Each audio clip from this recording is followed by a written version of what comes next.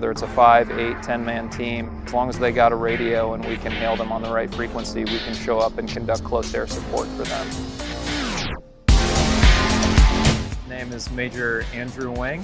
Uh, my call sign's Hammer, and I am a uh, AH-1Z Cobra pilot, and I'm currently the operations officer at HMLA 775.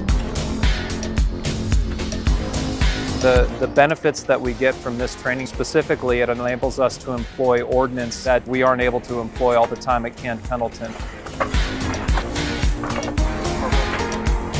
The work that we do here supports the Ground Combat Element, or GCE, by ensuring that we are well equipped to go out and conduct close air support should it be required in any tactical scenarios.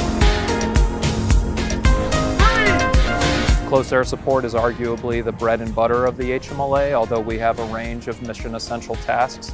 The ranges here uh, just north of El Centro are well set up to conduct that close air support training.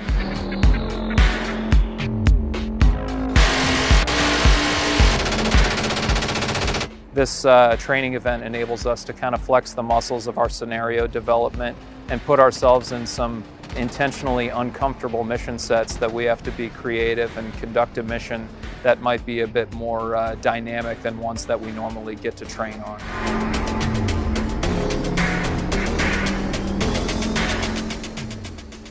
My favorite part of the training is just getting such a good group of people that combines a range of active duty, active reserve personnel. It allows us to take 775 at its best, combining those different Marines who make up our unit. It enables us to demonstrate the most valuable employment of a reserve unit.